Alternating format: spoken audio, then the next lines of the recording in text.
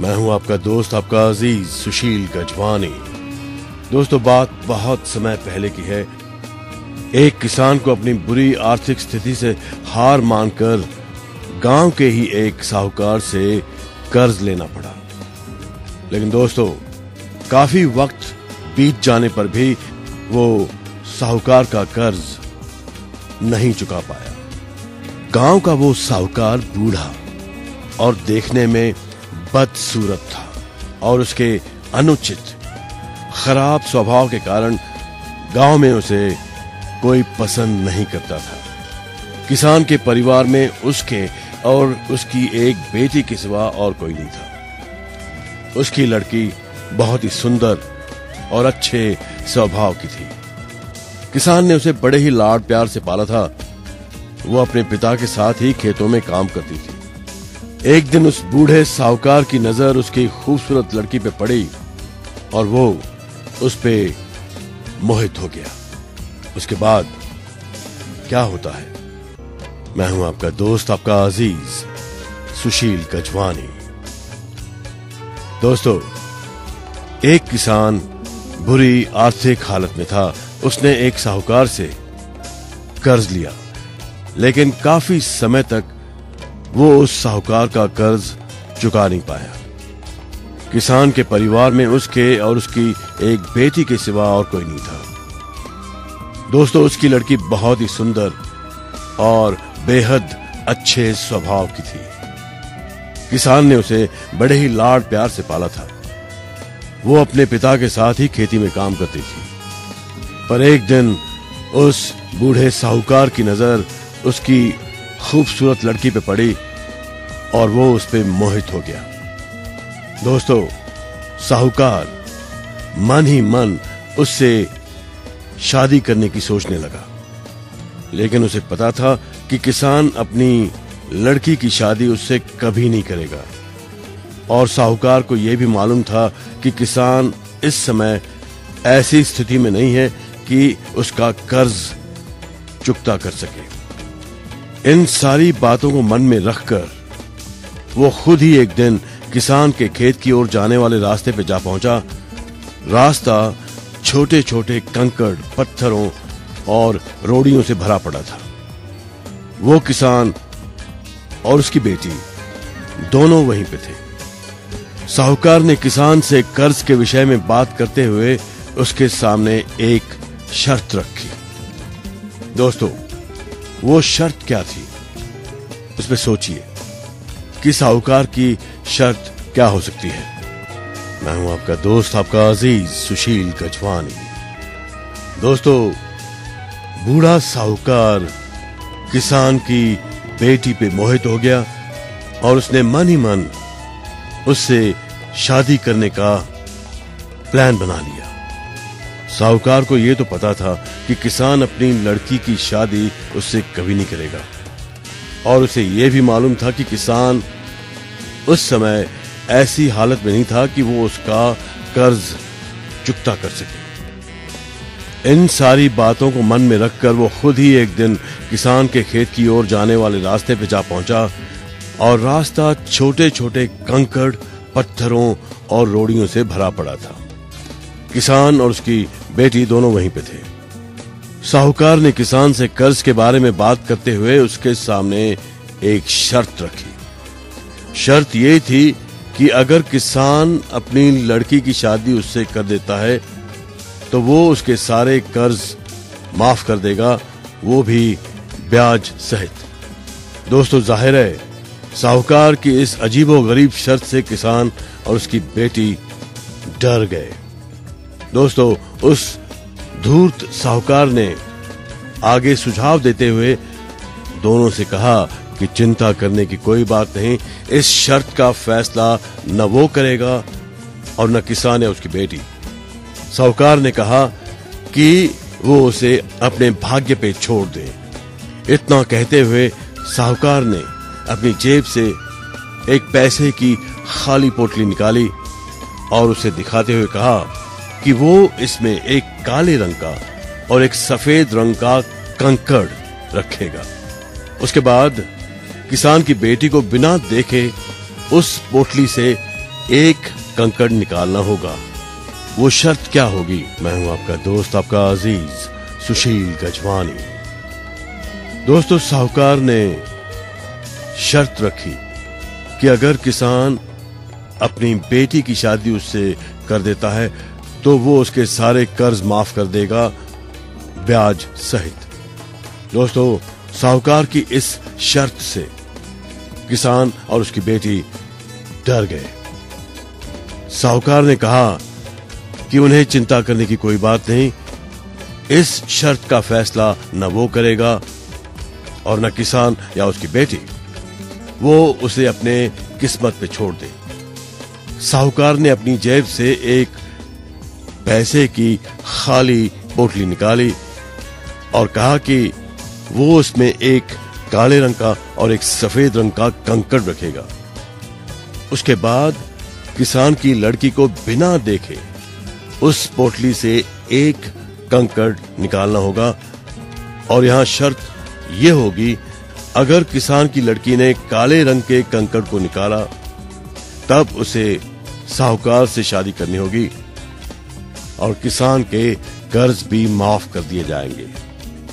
अगर किसान की लड़की ने सफ़ेद रंग के कंकड़ को निकाला तो उसे साहूकार से शादी नहीं करनी होगी और फिर भी कर्ज माफ़ कर दिए जाएँगे। लेकिन दोस्तों, अगर किसान की लड़की ने कंकड़ निकालने से मना कर दिया तो फिर किसान को जेल के सलाखों के पीछे जाना होगा। दोस्तों, जैसे ही किसान और उसकी लड़की साहूकार की इस शर्त पे आपस में बातें करने लगे, तभी साहूकार अचानक कंकड़ों को उठाने के लिए नीचे झुका।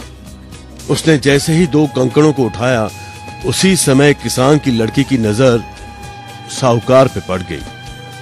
उसने देखा कि साहूकार ने दो काले कंकड़ ही खाली पोटली में रख दिए जबकि शर्त के मुताबिक होना यह चाहिए था कि साहूकार एक काले रंग का और दूसरा सफ़ेद रंग का कंकड़ खाली पोटली में रखता।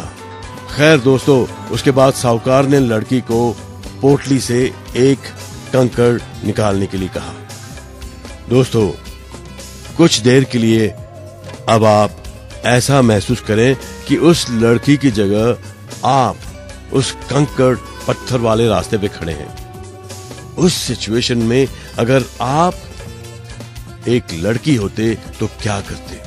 अगर आपको उस लड़की को, किसान की लड़की को कोई सुझाव देना होता, कोई सजेशन देना होता तो आप क्या देते? सोचिए इमेजिन करिए। मैं हूँ आपका दोस्त, आपका अज़ीज़ सुशील गजवानी। दोस्तों, साहूकार बहुत ही धूर्त था। उसने खाली पोटली में जो कंकड़ डाले, दोनों काले थे। हालाँकि शर्त यह थी कि वो एक सफ़ेद कंकड़ डालेगा और दूसरा काला कंकड़। शर्त के मुताबिक होना यह चाहिए था दोस्तों कि साहूकार एक काले रंग का और दूसरा सफ़ेद रंग का कंकड़ खाली पोटली में रखे। साहूकार ने लड़की से कहा कि वो पोटली से एक कंकड़ निकाले। दोस्तों, वो लड़की देख चुकी थी कि साहूकार ने दोनों एक ही रंग के काले रंग के कंकड़ उस पोटली में डाले थे। अब वो क्या करे? दोस्तों, क्या आपने इसके बारे में सोचा कि लड़की को क्या करना चाहिए? दोस्तों, इसमें तीन संभावनाएँ हैं। पहली बात तो ये हो सकती है कि लड़की कंकड़ निकालने से बिल्कुल मना कर दे। दूसरी बात यह हो सकती है कि लड़की को थोड़ा साहस दिखाते हुए साहूकार को बता देना चाहिए कि उस पोटली में दोनों कंकड़ काले ही हैं और साहूकार ने ये धूर्तता की है और उसका पोल खोल देना चाहिए। और तीसरा विकल्प ये हो सकता है कि लड़की साहूकार की धूर्तता के बारे में जानते हुए भी काले रंग के कंकड़ को निकाले और अपने आप को त्याग दे अपने आप को सैक्रिफाइस कर दे ताकि उसके पिता कर्ज मुक्त हो जाएँ और वो जेल जाने से बच जाएँ। लेकिन क्या लड़की ने ऐसे ही किया? दोस्तों, आप सोचिए कि लड़की को क्या करना चाहिए इस सिचुएशन में, उस धूर्त साहूकार से उसे कैसे मुकाबला करना चाहिए। सोचिए, मैं आपका दोस्त, आपका अज़ीज़ सुशील गजवानी दोस्तों, धूर्त साहूकार, गरीब किसान, उस पे कर्ज और साहूकार की ये शर्त की किसान की लड़की उससे शादी करे और वो किसान का कर्ज माफ़ कर दे। लेकिन लड़की क्या करती है? दोस्तों, जैसे साहूकार ने कहा, किसान की लड़की ने पोटली से एक कंकड़ निकाला और उसे बिना देखे हुए जानबूझकर कंकड़ पत्थरों से भरे रास्ते पे धीरे से उछाल दिया, जिससे जल्द ही वो काले रंग का कंकड़ और कंकड़ों में मिल गया, गायब हो गया। उसके बाद किसान की लड़की ने झूठा खेद व्यक्त करते हुए कहा, मैं मैं कितनी लापरवाह हूँ।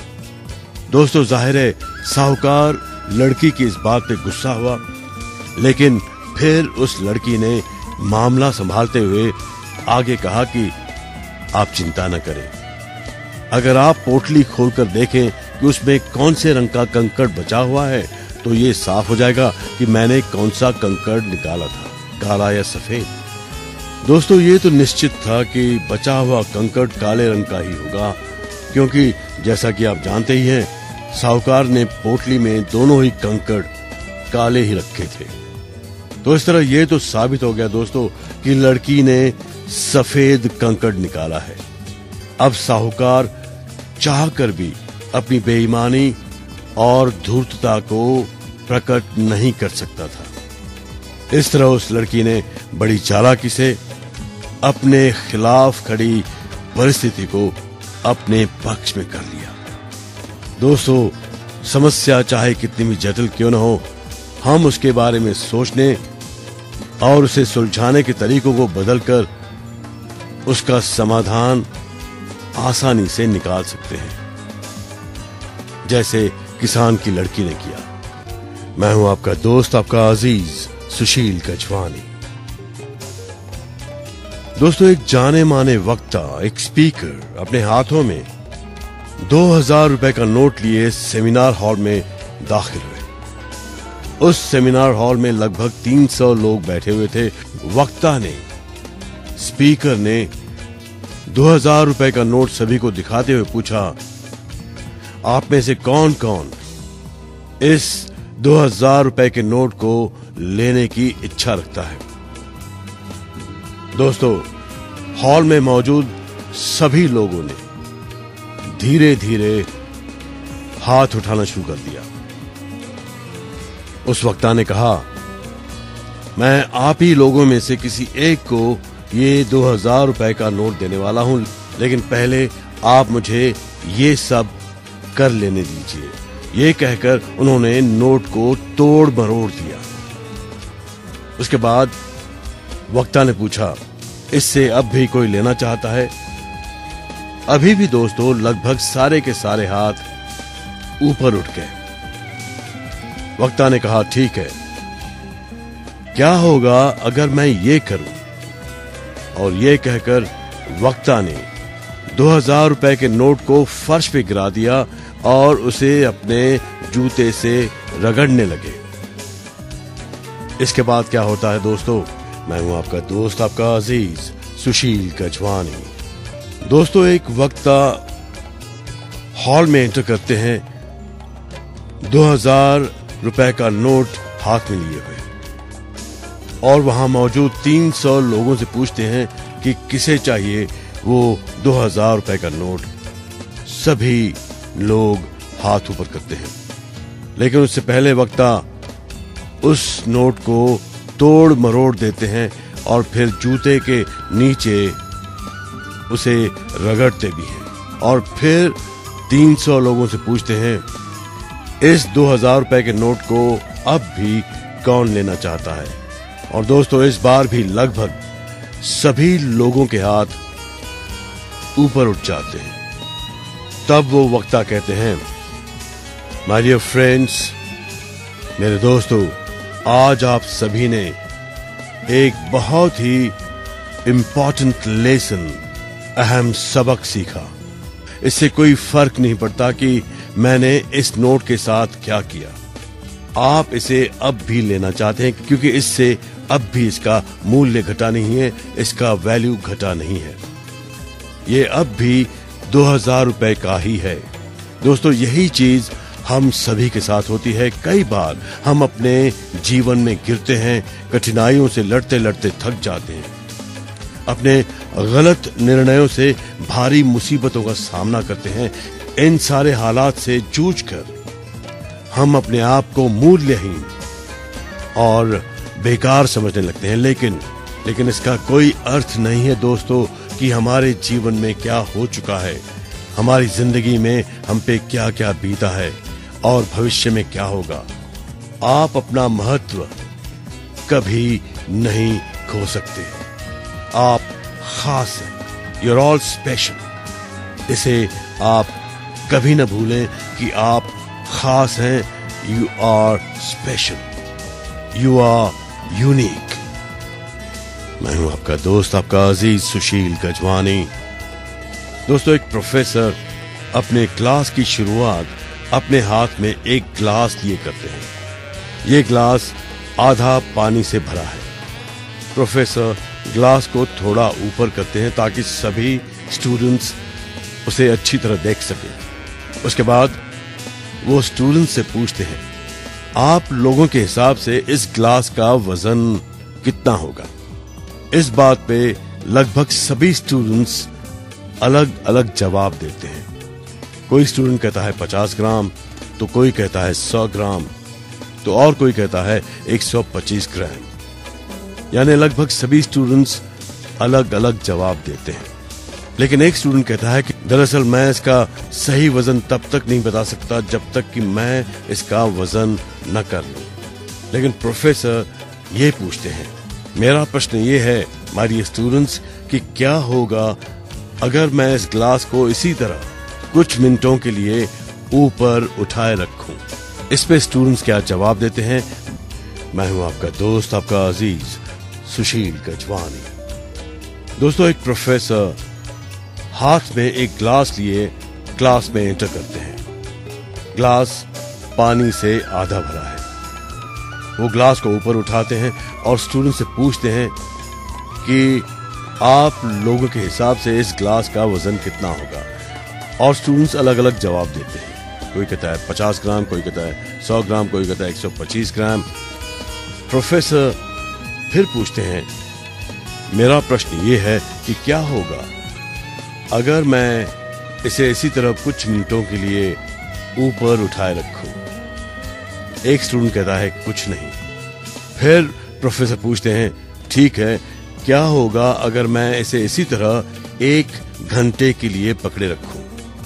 दूसरा स्टूडेंट जवाब देता है, आपके हाथ में दर्द शुरू हो जाएगा। प्रोफेसर कहते हैं, ठीक है, तुम बिल्कुल सही कह रहे हो। अब बताओ, क्या होगा अगर मैं इस ग्लास को इसी तरह एक दिन तक पकड़े रखूँ? दोस्तों, एक स्टूडेंट मस्ती भरे अंदाज में कहता है, हो सकता है सर आपकी वो बाजू सुन हो जाए, आपके मसल्स में स्ट्रेन हो जाए और आपका हाथ पैरालाइज हो जाए और आखिर में आपको हॉस्पिटल में एडमिट ना करना पड़े। दोस्तों, सभी स्टूडेंट्स इस बात पे हँसते हैं। दोस्तों, इस बात पे प्रोफेसर क्या कहते हैं? मैं हूँ आपका दोस्त, आपका अज़ीज़ सुशील गजवानी। दोस्तों स्टूडेंट्स से प्रोफेसर पूछते हैं कि क्या होगा अगर वो पानी से आधा भरा हुआ ग्लास सारा दिन पकड़े रखे। तब एक स्टूडेंट मस्ती भरे अंदाज में कहता है, हो सकता है, सर, आपकी बाजू सुन्न हो जाए आपके मसल्स में स्ट्रेन पैदा हो, आपका हाथ पैरालाइज हो जाए और आखिर में आपको हॉस्पिटल में एडमिट करना पड़े। तब सभी स्टूडेंट्स इस बात पे हँसते हैं, लेकिन प्रोफेसर मुस्कुराते हैं और पूछते हैं, बहुत अच्छे। लेकिन क्या इन सब के दरमियान इस ग्लास का वज़न कम हो जाएगा? सभी स्टूडेंट्स का जवाब था नो सर तब प्रोफेसर पूछते हैं तब बाजू में दर्द और मसल स्ट्रेन। तो फिर मुझे बताओ कि मेरे हाथों में दर्द, मेरे बाजू में दर्द और मसल्स स्ट्रेन का कारण क्या होगा? तब स्टूडेंट्स खामोश हो जाते हैं, उलझन में पड़ जाते हैं। प्रोफेसर स्टूडेंट से दोबारा पूछते हैं तो अब मुझे दर्द से राहत पाने के लिए क्या करना चाहिए? एक स्टूडेंट जवाब देता है ग्लास को नीचे रख दीजिए, sir. Put the glass down तब प्रोफेसर मुस्कुराकर कहते हैं यू राइट बिल्कुल सही कहा तुमने।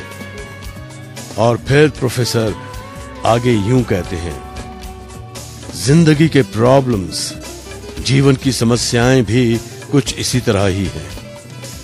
कुछ मिनटों के लिए उन्हें दिमाग में रखिए, तब तक तो ठीक है। कुछ घंटों तक उनके बारे में सोचते रहिए तो वो दर्द देना शुरू कर देंगे। लेकिन अगर आप कुछ दिनों तक उन प्रॉब्लम्स के बारे में सोचते रहेंगे तो वो आपको पैरालाइज कर देंगे। उसके बाद आप कुछ भी करने लायक नहीं रहेंगे। Do understand what I am saying students it's important ये महत्वपूर्ण है कि आप अपने जीवन की चुनौतियों और समस्याओं के बारे में सोचें। लेकिन, उससे भी ज़रूरी बात यह है कि हर रोज रात को सोने से पहले उन्हें नीचे रखते हैं। अपने प्रॉम्स को भूल जाएँ। मतलब ये कि आप उनके बारे में कुछ भी न सोचें। इस तरह आप अपने आप को तनाव मुक्त महसूस करेंगे। You will find yourself tension free और नए इशू का मजबूती से मुकाबला कर पाएँगे आप लोग। मैं आपका दोस्त, आपका अज़ीज़ सुशील गजवानी। दोस्तों मैंने तिरंगे से पूछा। मैंने तिरंगे से पूछा, क्या वजूद है तेरा? एक सूती कपड़ा, कुछ रंग और आड़ी तिरछी लकीरें।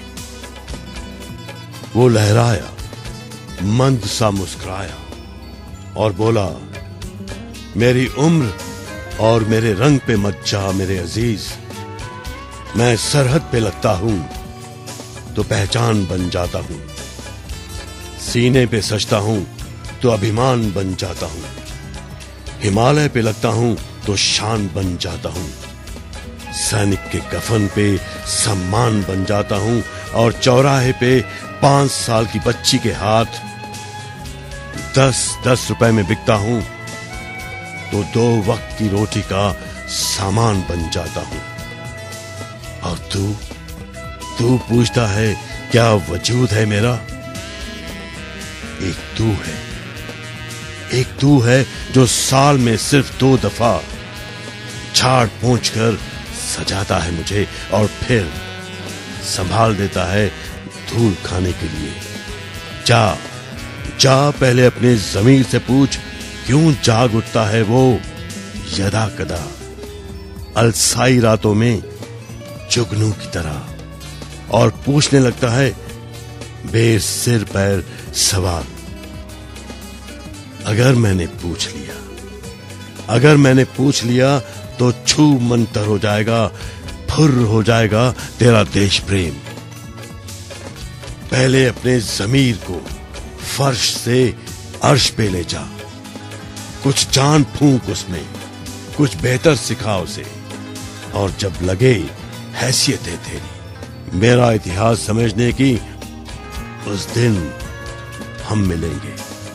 सरहदों के परे, जहाँ गली के नुक्कड़ वाली चाय की दुकान पे बातों में चर्चा, रंग, जात, मज़हब की नहीं, सिर्फ़ मोहब्बत की होगी। दोस्तों, तभी तो कहता हूँ, हमेशा अपने दिल की बात सुनो, क्योंकि दिल आखिर दिल है, दिल आपका आईना है। अपने दोस्त, अपने अज़ीज़, सुशील गजवानी को इजाज़त दीजिए। गुड नाइट शुभ रात्रि शब खैर